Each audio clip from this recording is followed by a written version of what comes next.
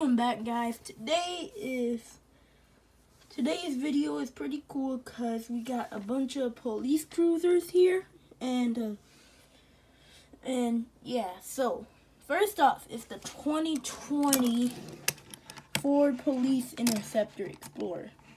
Now I found this in my toy bin cuz I was looking for something. It's kind of broken cuz see here and there used to be a light bar up here but then it fell off.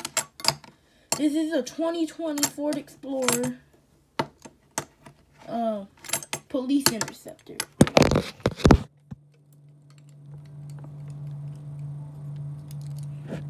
This, if I can get this. But as you can see, it's kind of scratched up at the back and kind of scratched at the front and scratched up there and stuff scratched it's kind of scratched everywhere but uh next one is the broward county sheriff marine unit. Now usually you see these in the uh boat areas uh, it got the light bar. This i don't know how the bumper came off but it came off somehow. I don't know how but it came off.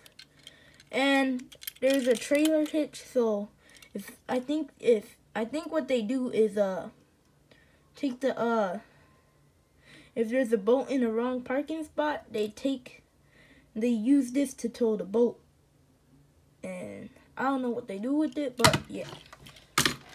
This one just an ordinary police jeep. Doesn't say any doesn't say any uh county or department it came from.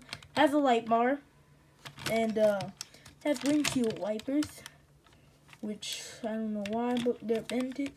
But usually, I think some departments should have this because off-roading and stuff. And yeah. Next one is the 2017 Ford Explorer Police Interceptor. Of course, this one has a light bar too. You saw it in the first part. Interceptor, uh, I don't know how this happened, but it happens. Uh, for some reason, the back of this, the, uh, window of back here, bent it. That's the interior. Uh, has the interior. You can see it through the window. And, yeah. That's the Ford logo. And, um, yeah. Next one is not a police cruiser, but I'm going to customize this.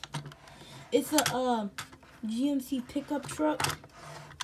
Um, so, you know how some departments have uh, marked vehicles? Well, I'm going to turn this into one of those. And, uh, yeah. Like, I might because this one had a computer and it broke. I might put the computer in here and place it uh, right by the cup holders. Well, not like it. The computer could be mobile with the driver, the officer of this unit, and uh, this one don't transport criminals cause see back here, yeah, no. But what I think, I might add a ram bar up here. I don't know. There might not be a ram bar because this is a unmarked unit and for really bad criminals, we they they could easily track us down with these wheels and yeah, they could easily track them down. So yeah, that's one thing I think that that's good about without the RAM bar. But second thing is the color. I don't know. If, well, I might keep the color because it's gonna look like an ordinary truck, right? And uh, this truck is gonna um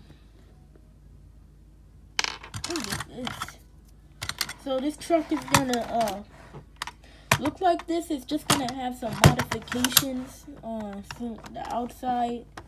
The uh, it has the 4x4, 4x, it has the 4x4 package, which is cool.